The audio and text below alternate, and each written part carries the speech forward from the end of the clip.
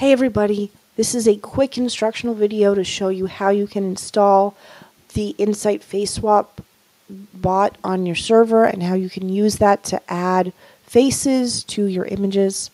So we're just going to get started. We're in the server for um, the comic um, that, that we created in a previous video. So we're just going to install it. We're going to go over to that URL, tinyurl.com slash IFS Discord. And we're going to open it. And now it says an external application wants to access your Discord account to add a bot to a server. It's already selected comic program. So, but if you want to drop uh, drop it in, you just choose that. You can continue. You want it to have all these capabilities. Then you authorize it. You prove that you're a human being. And that's going to open Discord. And there we go. We can see right here on the right hand side, there's Insight Face Swap. And it's added to the server. So how do we use it? Well, first we've got to get some faces for it. We've got some faces here. These don't really work for Insight Face Swap. I'm going to say, let's get an image of, let's say, Gary Cooper portrait, lo-fi, because that, or no, let's say photo re, color, color, uh, let's say Technicolor. So Gary Cooper Technicolor portrait or portrait Technicolor. I'm just going to pause this video while this generates. All right, that did not take long at all. We've got our pictures of Gary Cooper. We've got this one here. Um, and we can look at that. That is, it's a little bit odd. I think it took Technicolor to mean that it's uh, full of lots of different colors, but okay, that's uh, that's fine. We're going to just save this image and we'll just say Gary Cooper, Technicolor. And let's see.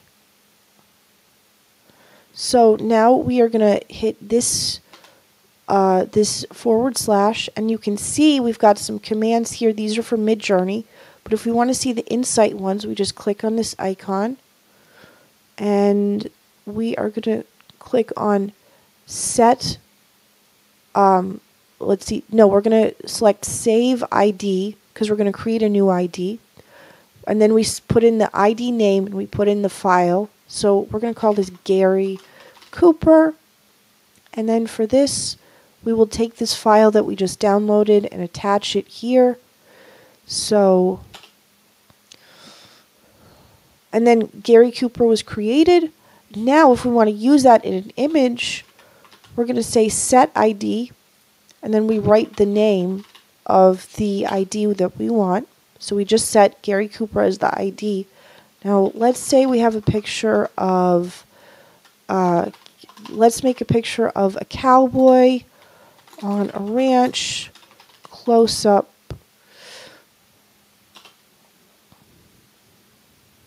And I'm just going to pause this while this generates.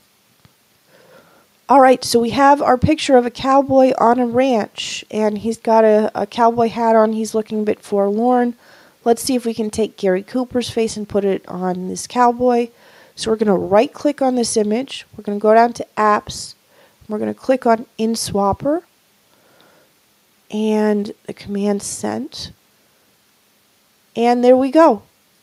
We have a decent likeness for Gary Cooper here. Um, and it's actually imitated the style. If you remember the the Gary Cooper image, this is kind of like a painting or a, a digital illustration or a movie poster, but in this image it's made it look like a photograph instead of like a painting. That's uh, that's pretty cool actually. So let's see if we can do the same thing with let's say um, Let's try a Jugendstil portrait of a cowboy, gold and black And let's give it a different aspect ratio. We're going to give it the aspect ratio of 9 by 16. If you don't know what aspect ratios are yet or you haven't tried them, don't worry. I'll show you how to do them in another module. But we've got, here are some portraits of cowboys in the Viennese Secession early Art Nouveau style. Let's upscale this one. And let's see what it does. All right, we've got our Vien Viennese cowboys here. So we're going to take, let's try, let's try this guy first. He looks fairly young and he looks quite different from Gary Cooper. So let's see what the results are. And there we go. It did, I would say, a pretty good job and it's been able to imitate the style. We're back to the more painterly style, and uh, it's matched the the kind of color scheme of the rest of the image, and it's got the shadow going across his face. I don't know if it's the world's best likeness of Gary Cooper, but it's uh, it's okay. It's pretty good. Um, and let's try this one as well. We remember we right click on the image, go to apps, and click on InSwapper and there we go. We've got another Gary Cooper. There we go. That actually looks pretty badass. I'm not going to lie. I'm going to save that to the desktop. All right. So what do you want to do if you want to have a different ID, a different image ID, and you want to have a, a different face? Well, you've got to save a new ID and you've got to set it, and that's really easy to do. So let's have an image of, let's say, Bjork. Um, and we'll wait for it to generate an image. And here we go. We've got some cool images of Bjork in very Bjork-like outfits. And we've got these two here. I'm going to choose this one because her makeup is more neutral here. Um, she's got a little bit of makeup here. We're going to see what it does with that. Sometimes it's a little bit unpredictable, but we're going to save this image as Bjork. And here we go.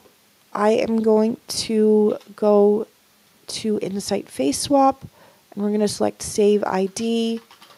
I'm going to choose Bjork, and then for the file, we're going to go up here and we'll attach the picture of Bjork. And then the ID was created, so if you want to change it to, first of all, right now the ID is set as Gary Cooper. So if you want to see a picture of Gary Cooper dressed like this, we can send that command. And it still doesn't really, that's kind of weird. Hold on, that doesn't really look like uh, Gary Cooper. Hold on. Okay, so when I say so when I saved the new ID, I guess it um it changed it over to Bjork automatically. Let me see. I don't think it used to do that. I but um let's see. So I just changed it back to Gary Cooper and let's see what the result is. Okay, that's more what I was thinking. So there you go. Gary Cooper not really the greatest look for him. But let's say we wanted to change it back to Bjork. You hit set ID and you can change it to Bjork.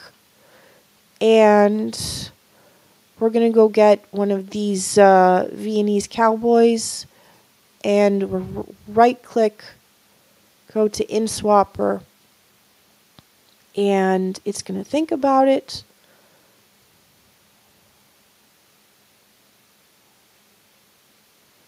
Sometimes it takes a while, and uh, that's uh, that's how it is. I'm going to pause it.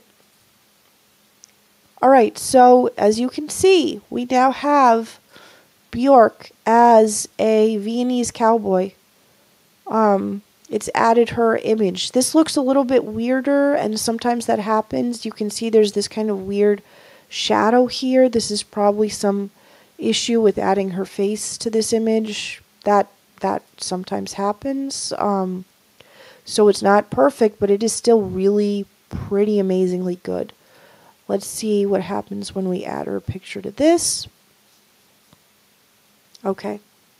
So this one looks a little bit better, I think. But um, yeah, and as you can see, it's it's imitated the style of the rest of the picture. It's painterly, and if we add it to a photo, it's going to be a little more photorealistic. Now, let's say you want to delete an ID, and you don't want it to be saved because you only get about 20 IDs at a time. You just type del ID, and then you write the ID that you want to get rid of. So this way, if we get rid of the Bjork ID, it's gone. And we'll have to recreate it if we want to use it again. And just a few things about this.